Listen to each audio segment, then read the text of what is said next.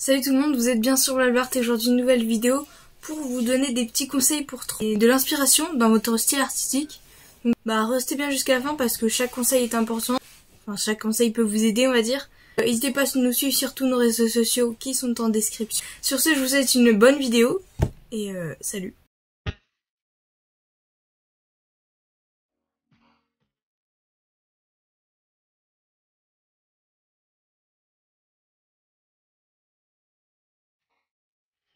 On le répétera jamais assez, il faut dessiner régulièrement. Déjà de une pour s'améliorer, oui, il faut dessiner régulièrement, ça on, doit vous le dire souvent.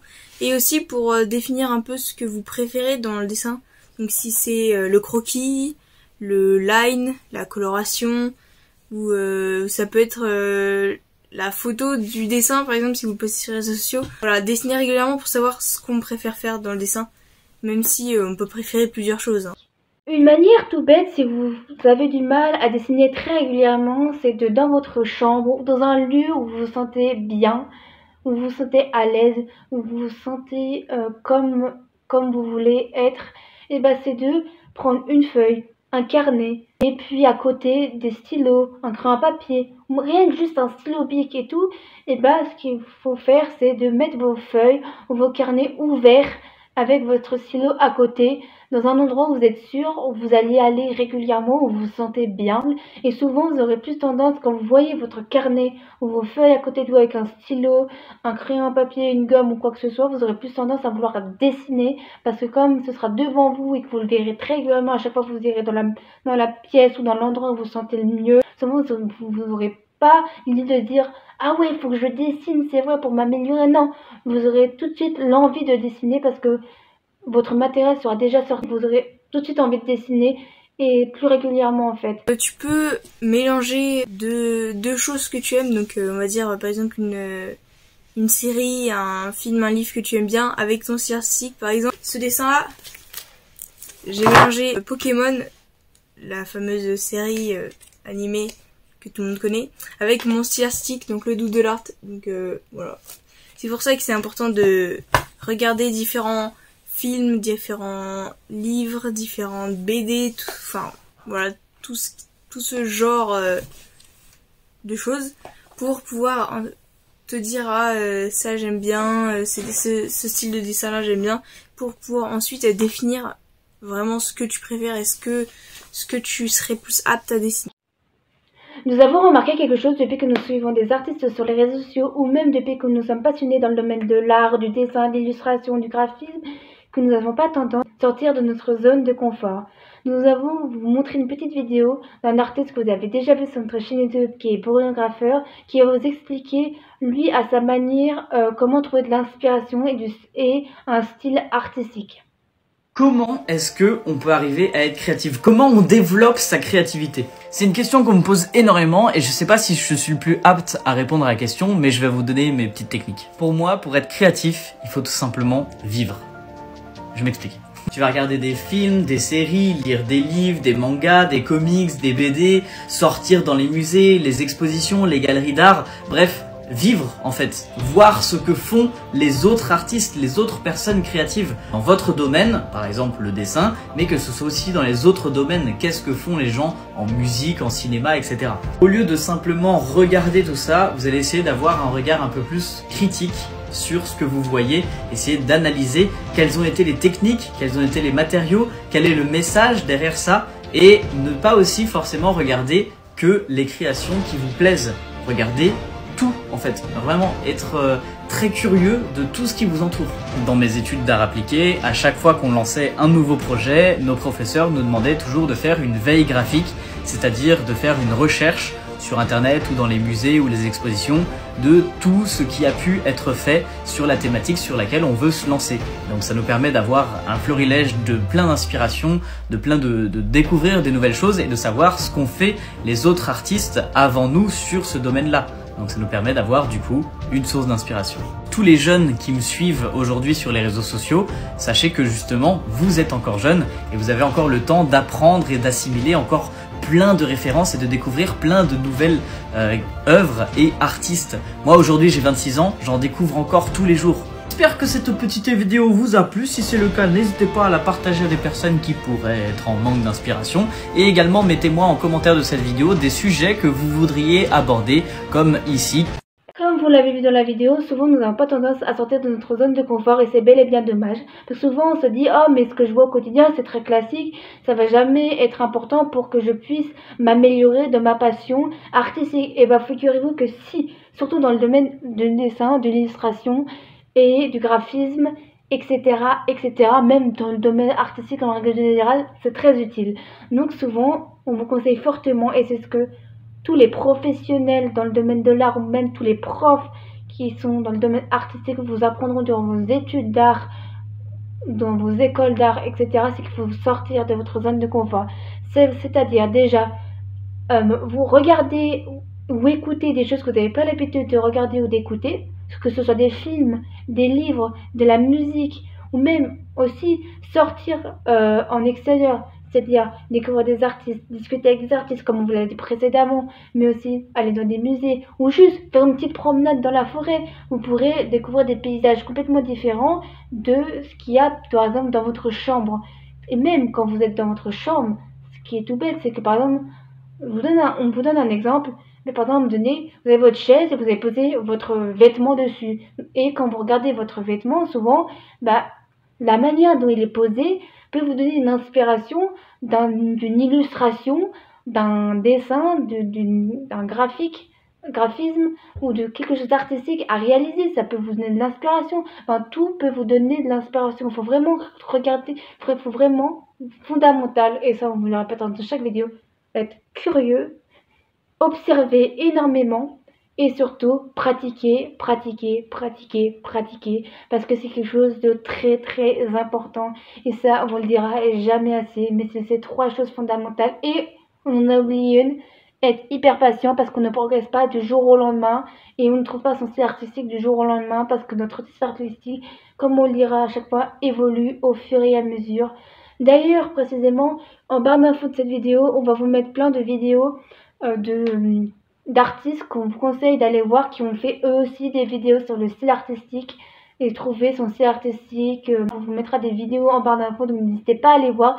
Si vous voulez plus d'informations, on vous les conseille fortement parce que nous, ça nous a énormément inspiré pour faire cette vidéo parce que souvent ce sujet revient fondamentalement tout le temps et euh, on vous répète à chaque fois pour tous les artistes la même chose et c'est bel et bien dommage.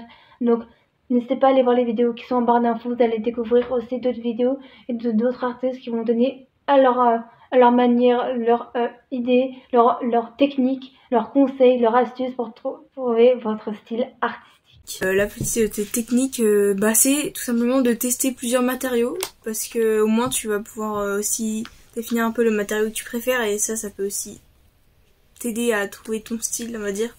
ça peut être la peinture, le feutre alcool, le crayon de couleur. Par exemple, moi, je sais que bah, j'utilise euh, beaucoup le feutre alcool parce que la peinture, le crayon de couleur et tout, j'aime moins, mais j'ai quand même déjà testé. Et évidemment, je suis moins forte du coup avec ça vu que j'en fais moins. Mais enfin, j'en fais quand même un peu pour euh, ne pas, euh, pour savoir un peu faire de tout. Faut savoir utiliser plusieurs matériaux quoi. Donc après, tu peux en choisir un que tu préfères et faire la plupart de tes dessins comme ça, mais il faut quand même en tester mais ce qui est très intéressant, c'est aussi de tester le collage, la photo, le modelage, les maquettes. C'est de tester plein de choses d'autres au niveau artistique. Parce que souvent, on se dit, ouais, mais c'est euh, parce que j'ai pas le bon matériau et tout, qui fait que mon dessin, il est pas terrible, etc. Non, souvent, c'est juste parce que vous n'avez pas, euh, pas la bonne méthode ou, les, vous n'avez pas les bonnes techniques qui font que ce n'est pas, ou c'est pas le bon médium qui vous convient. Souvent vous dites, ouais mais pourquoi je pourquoi m'améliore pas en dessin, ça fait des années que je dessine, je m'améliore pas. Bah, tout simplement c'est parce que le dessin n'est pas fait pour vous. Peut-être que c'est plutôt la sculpture qui sera fait pour vous, peut-être la photo, la vidéo, le, le collage, ou, le street art, ou n'importe quoi. Mais souvent c'est faux faut tester, faut tester. Et souvent en testant que tu vas découvrir qu'est-ce qui va te plaire. Et souvent c'est ça qu'il faut faire, donc tester énormément de médiums, de médias, de techniques et de matériaux différents. C'est très très important pour son style artistique, c'est même des bases fondamentales pour trouver son style artistique. Autre chose de très important, discuter avec euh, d'autres artistes. Donc euh, bah maintenant il existe les réseaux sociaux, donc c'est vrai que c'est beaucoup plus facile. Euh, si t'es artiste, je pense que tu suis des artistes, même si t'es pas artiste. Cet artiste peut t'apprendre de nouvelles choses et toi tu peux lui apprendre des choses. après si c'est un artiste qui a plus d'expérience, bah pareil il peut t'apprendre de nouvelles choses. Et, et bah ça c'est plutôt pratique. Ce qui est bien, comme Mia vous l'a dit précédemment, c'est de discuter avec des artistes déjà pour avoir leur expérience de leur vie professionnelle et pour éviter que du coup vous fassiez les mêmes erreurs mais aussi pour qu'ils vous donnent des avis et des astuces, des conseils euh, sur vos créations que vous avez réalisées. Mais ce qui peut être bien aussi, c'est un avantage, c'est que vous pouvez faire ensemble des projets, des partenariats, des collabs ensemble. Et du coup, ça peut vous faire euh, amener plus de visibilité vu que chacun aura leur réseau. Mais ce qui est bien aussi, quand vous appréciez des artistes, quand vous aimez un artiste, vous êtes fan d'un artiste, etc et que vous le suivez par exemple sur les réseaux sociaux ou pas, c'est de voir les créations qu'il réalise et de se dire mais pourquoi j'aime bien cet artiste, pourquoi j'apprécie bien ses créations? Et souvent, bah, quand on apprécie un artiste ou qu'on aime bien ses créations, c'est souvent l'opposé de ce qu'on aime réaliser. Pourquoi? Parce que souvent, quand on apprécie un artiste, et bah souvent on, apprécie parce que euh, c'est complètement, c'est quelque chose qu'on qu'on n'oserait jamais faire, qu'on aime ou qu'on n'arrive pas à faire parce que bah, tout simplement, on n'a jamais essayé, ou quand on a essayé, ça a toujours été des échecs. Donc c'est pour ça que souvent on aime bien cet artiste-là. Ce qui est bien de faire, c'est souvent, c'est de prendre une, une feuille, un carnet ou les notes de votre téléphone et de dire pourquoi vous aimez bien cet artiste. Est-ce que c'est pour l'originalité de ses créations? Euh, Est-ce que c'est des créations qui sont complètement euh, ordinaires et qu'on n'a pas l'habitude de voir? Ou est-ce que c'est parce que c'est le style qui est complètement différent de ce qu'on peut voir sur les réseaux sociaux ou en règle générale dans le monde de l'art Ou euh, est-ce que c'est parce que c'est les couleurs, euh, les émotions, la morphologie, la mise en page? Enfin, c'est bien de noter, de savoir pourquoi vous appréciez grâce au aux travaux que vous allez apprécier de vos artistes préférés, que vous allez analyser de pourquoi vous aimez ces, ces artistes-là ou ces créations-là, bah souvent, grâce à ça, bah ça vous, vous vous dites souvent, mais pourquoi je rajouterais pas ça? Pourquoi je mettrais pas ça? Pourquoi je ferais pas ceci? Pourquoi je mettrais pas cela? En plus, en avant dans vos créations que vous réalisez, et souvent, ça apporte quelque chose en plus. Mais c'est vrai que souvent, c'est pas le truc qu'on a forcément, euh, qu'on y pense forcément à faire. Et ça, c'est quelque chose qui, que c'est fortement de faire cette petite, euh, ce petit tableau, les pour et les contre de pourquoi vous aimez cet artiste-là.